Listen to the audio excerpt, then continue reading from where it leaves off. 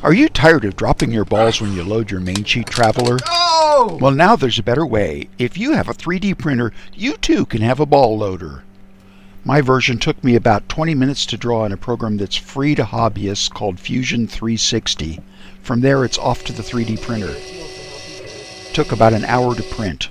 I use the printer for so many things on the boat. I've printed spacers and coffee makers and switch panels. I even printed an electric valve for our water maker. Here's the finished ball loader. I was able to pour the balls into the slots.